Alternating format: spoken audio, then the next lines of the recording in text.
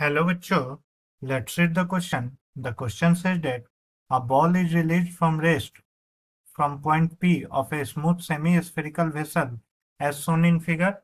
The ratio of centripetal force and normal reaction on the ball at point Q is A while angular position of point Q is alpha with respect to point P.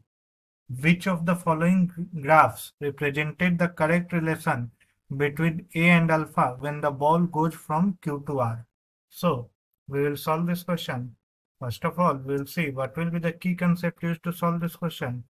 The key concept that will be used to solve this question is centripetal force Fc is equal to mv square by r. Now we'll see that the ball is at point P. So initially it has velocity 0 as it is released from rest and it reaches point Q and at point Q it attains some velocity v. So centripetal force at point Q Fc will be equal to mv square by r. Now we have to find this velocity v. So we can see if the radius of the semi-spherical vessel is r. So this distance that is the vertical height from P to Q that will be h that will be r sine alpha. So if we conserve energy from point P to Q, conserving mechanical energy, mechanical energy from point P to Q, we have at point P, we have the potential energy that is mgh and kinetic energy is 0 at point P. At point Q, the potential energy becomes 0 as we are taking this line as datum and the kinetic energy is a half mv square. So from here we have V is equal to root over 2gh and h is r sine alpha. So V is equal to root over 2gr sine alpha.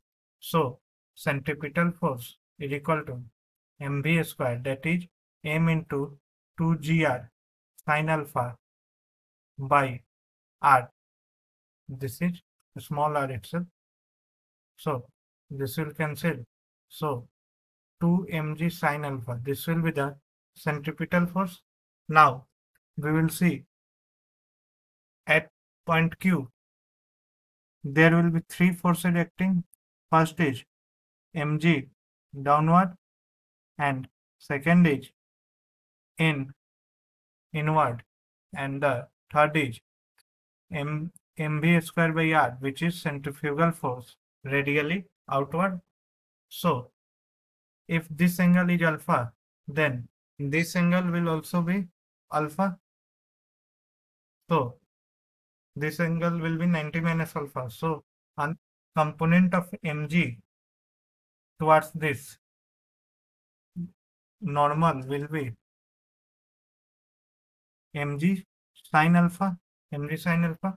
So if we balance force at this point q along this normal, so we will have normal is equal to mv square by r plus mg sine alpha and mv square by r is 2 mg sine alpha as we have calculated here plus this is mg sine alpha.